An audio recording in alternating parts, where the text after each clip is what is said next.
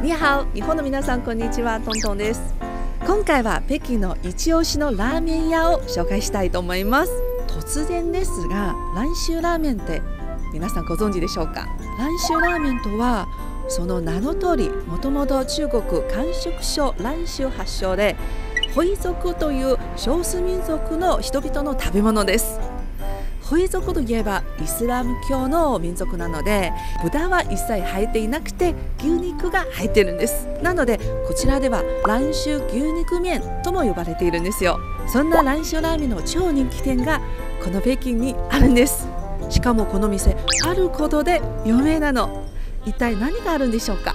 では早速行ってみましょうね。ということでやってきました。こちらが蘭州ラーメンのお店23座です。もう外見から見るとラーメン屋さんと思えないくらいおしゃれなところなんですね。中はなんでどうなんでしょうか。ぜひ一緒に入ってみましょう。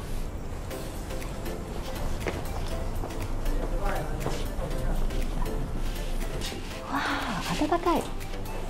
中もおしゃれです。見てください。ここ。まるで宇宙船の中みたいですね。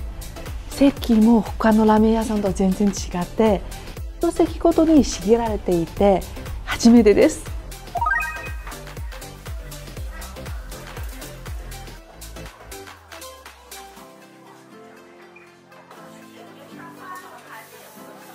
第一次来他们家吃面，通过什么样的一个方式知道的？因为我第一次来北京，然后在大众点评上然后看，因为我个人是比较喜欢爱吃面食嘛。哦，先生您好，您是第一次来他们家吃面？哦，我是已经非常非常多次了。哦，为什么？因为我本来就是兰州人，然后在北京工作，就是比较就是经常想家的时候就会要来这儿吃。想家的时候会来。二十三座，え名前の通り、お店の中で全部で23席しかありません。しかもこれ 仕切りがあるんですよ。あの日本の一蘭ラーメンにそっくりじゃないですか。あとここをこうやってそれから折りたたんであの1人でも2人でもあの本当に静かに楽しめる空間になるんですよ。まあ、あの本当にこういうものがあって女性1人でも2人でも気軽にラーメン食べに来られるんですよね。注文は中国でおなじみの携帯を使って QR コードをスキャンします。QR コードはこちら。可愛いですよね。ここにあるんですよ。丸い QR コード。じゃあこれから注文しますね。よし。お。メニューはシンプルですね。本当に。こういうもの牛肉麺とかしか書いてない感じばっかりなんです。あとは見てください。ビールがあります。アサヒビール。日本人の方も来たら嬉しいじゃないですか。じゃあ今日は定番の牛肉麺蘭州牛肉麺を頼みたいと思います。見てください。ここのラーメンは伝統的な手で伸ばすラーメンなので麺の太さが選ぶことができるんですよ。見てください。この太さが。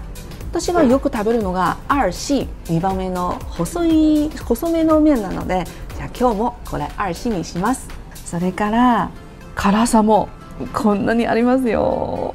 辛いものちょっと苦手なのでちょっとだけの辛さにしますか。OK あ楽しみです。えい谢谢おお出てきた来た来た来た。えい好的谢谢こうやって出てくるんですね。なんかサプライズようなサプライズのような感じなんです。注文してから麺が来るまでに本当にスタッフとは全然接していません。今の時代にぴったりじゃないですか。じゃあ早速味の方もチェックしてみたいと思います。見てください。美味しそう。上に乗ってるのは大根。それから私が大好きなパクチー。と牛肉もたっぷりです。スープの方が、まあ、透明感のある醤油なしの本当に牛肉だけの煮込んでたスープなんですよ。コクがあります。じゃあスープからいただきたいと思います。お。美味しそう。あったかい。美味しい、うん、じゃあゃあ麺からですね。わあこれが RC なんですよ。太さが見てください。お。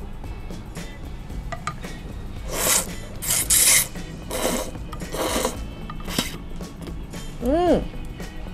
全然そんなに辛くないです。美味しい。麺がプリプリしてます。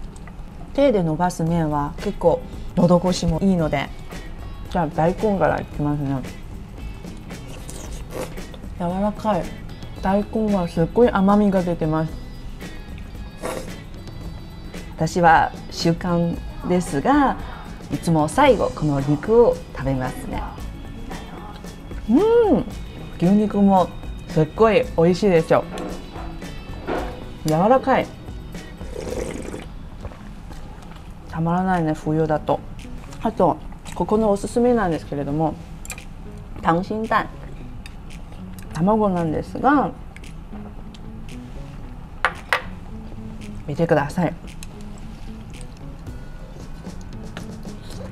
うんとろっとしてます